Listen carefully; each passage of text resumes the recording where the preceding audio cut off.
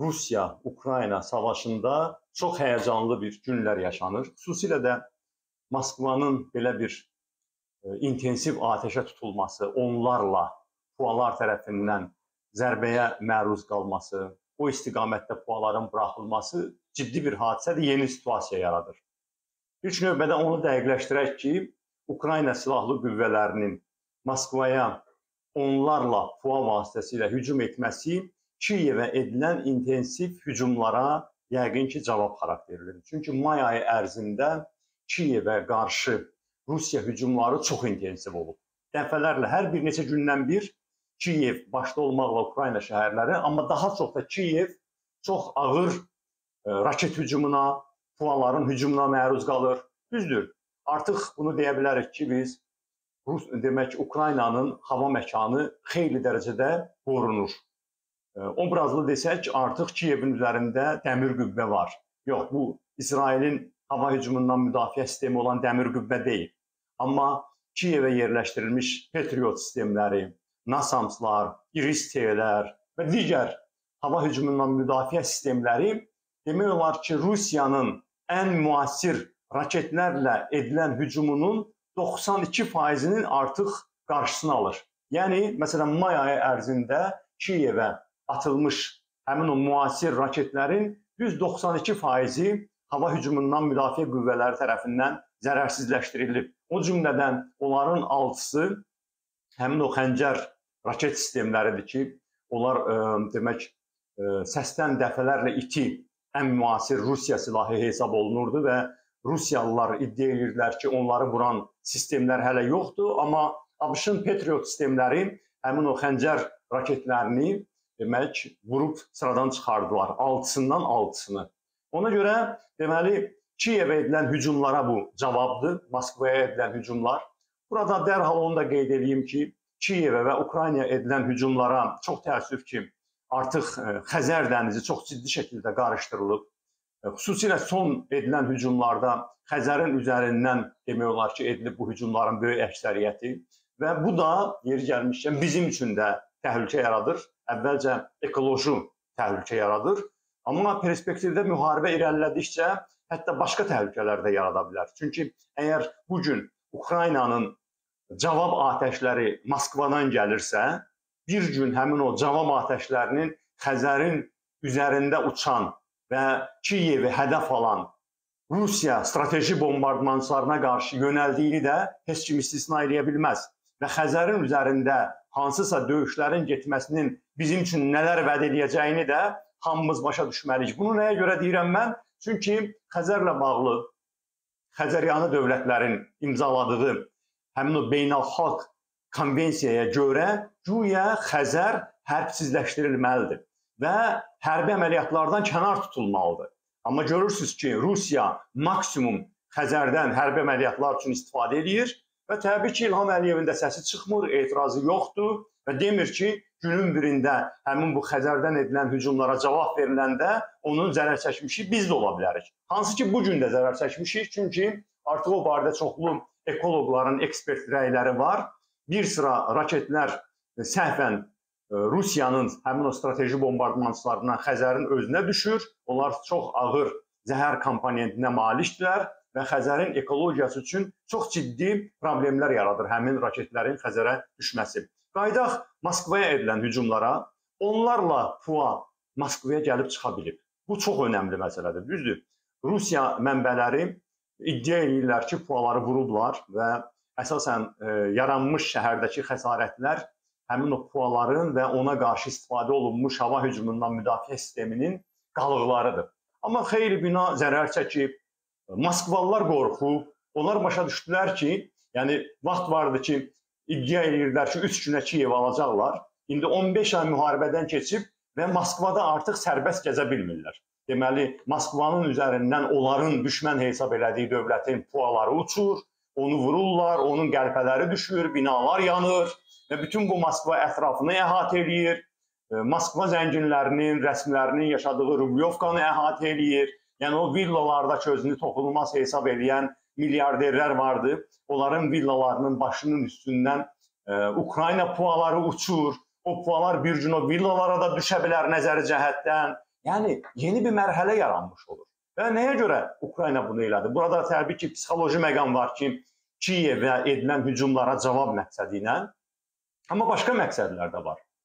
Ukrayna nümayiş etdirir ki, özünün silahları ilə də e, Moskvanı vura bilir. Çünki bilirsiniz, qərb silahları get-gedə artır, Ukraynaya verilən qərb silahları. Onların arasında artıq uzun məsafəli silahlar da var.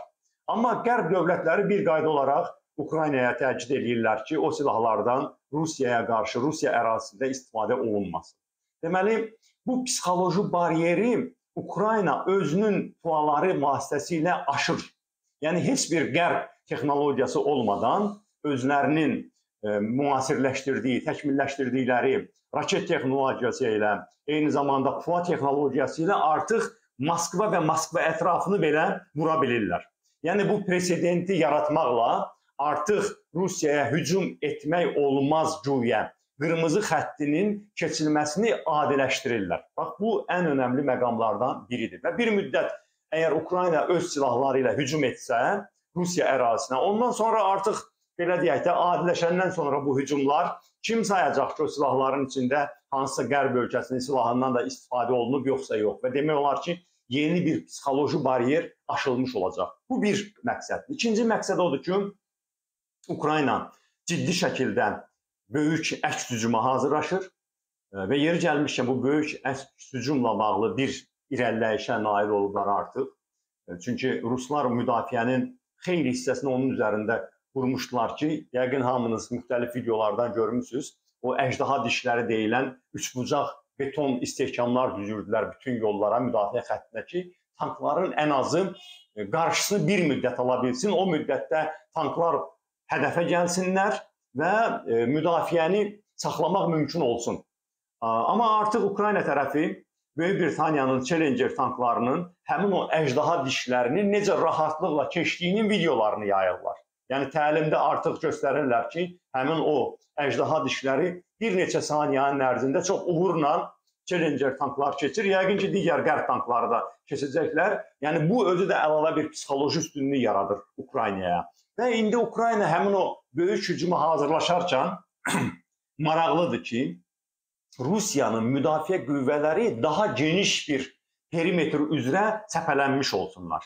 Yəni məsələn, hansısa konkret bölgədə əgər hücum edəcəksə Ukrayna, orada daha çox qüvvə konsentrasiya olmasın, səfərbər olmasın deyə Ukrayna çox böyük əraziləri döyüş meydanına çevirir ki, Rusiya məcbur olub həmin ərazilərin hamısında qüvvə saxlasın. Baxın, deməli Ukraynanın Rusiya ilə sərhəd olan bölgələrindən edilən hücumlar Belgoroda, Kurska, başqa deməli Rusiya şəhərlərinə, vilayətlərinə, hansılar ki, onlar Ukrayna ilə sərhəddədirlər, edilən hücumlar artıq Rusiyada bu məsələni gündəmə gətirib ki, deməli bütün silahlı qüvvələri Ukrayna ərazisinə səfərbər eləmək səhvdir.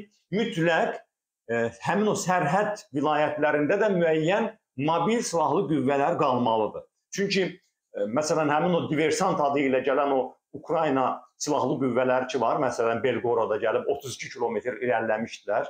Onları polis zərərsəkləşdirə bilməz. Onlar peşəkar hərbçilərdir. Onlar zirehli texnika ilə gəlirlər. Deməli onun durdurmaqdan ötürü Belgorodda da, deməli digər bütün Ukrayna ətrafı vilayətlərin hamısında silahlı qüvvə olmalıdır və hərbi ekspertlər deyirlər ki, Rusiya özünün ərazilərini, Ukrayna ilə yaxın ərazilərini qorumaqdan ötürü əlavə 50 min nəfər həmin o vilayətlərdə silahlı qüvvə saxlamalıdır. Baxın, deməli taktika özünü doğrultdu. Edilən o e, demək sərhədyanı bölgələrə hücumlar indi Rusiya hərbi rəhbərliyini məcbur eləyəcək ki, 50 min nəfər ətrafında 40 min olar, 60 min olar, 30 min olar.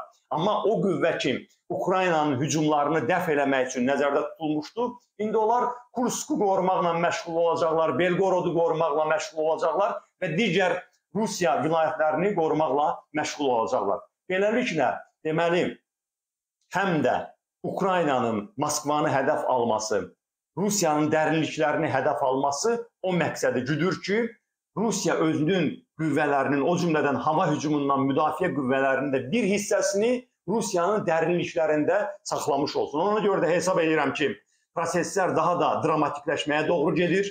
Artıq F-16-ların Ukraynaya verilməsi ilə bağlı siyasi qərarlar var və bir neçə ayın ərzində F-16-lar da veriləcək Ukraynaya.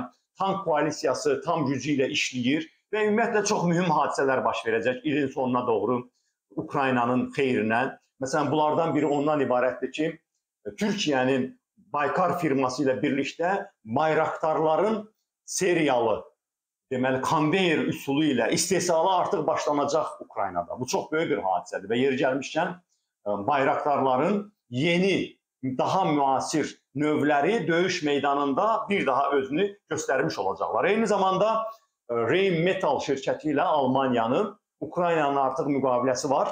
Təbii ki, onlar indi demirlər ki, işlər hansı mərhələdədir. Amma Ukraynanın özündə Leopard tanklarında istehsalı başlayır. Yəni F-16-lar gəlir, Leopardların istehsalı Ukraynanın özündə seri qaydasında, konveyer qaydasında istehsala başlayır. Ukrayna öz tanklarının istehsalını bərpa eləyir.